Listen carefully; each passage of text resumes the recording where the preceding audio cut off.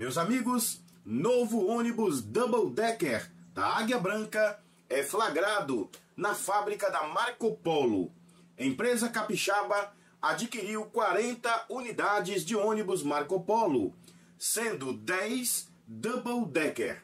Logo após a vinheta, a gente volta trazendo as notícias completas do mundo rodoviário de passageiros para vocês. Solta a vinheta.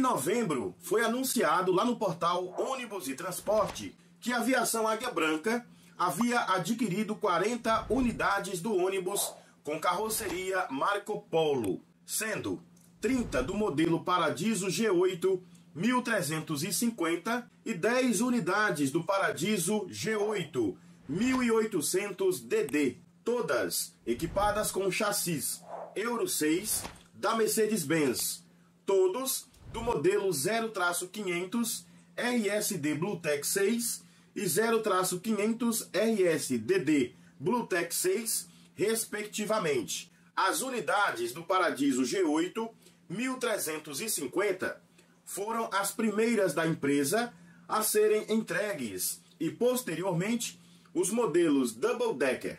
O fotógrafo Giovanni Sequin registrou uma das unidades do Paradiso G8 1800DD, saindo da fábrica da Marco Polo em Caxias do Sul, no Rio Grande do Sul.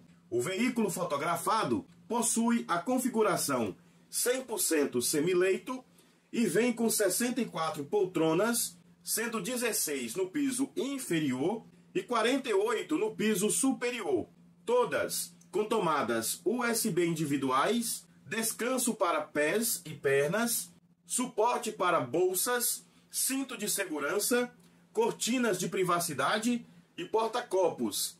As novas aquisições da Águia Branca contam ainda com tomadas elétricas de 110 volts, janelas panorâmicas com cortinas, porta-pacotes, luzes de leitura direcionais, banheiros no piso superior, sistema de ar-condicionado com dutos individuais da marca Valel, bebedouro com água mineral natural e gelada, câmeras de monitoramento, lixeira, bagageiro, plataforma elevatória para cadeirante e itinerário eletrônico na cor âmbar. Então, pessoal, você viu aí, ó, a foto do novo Double Decker da Águia Branca, que foi flagrado na fábrica da Marco Polo. Esse aí que vocês estão vendo, com prefixo 51140, é o novo veículo comprado pela Águia Branca. No total aí de 40 unidades que a empresa adquiriu em novembro, sendo que desses 40, 10 são o Double Decker.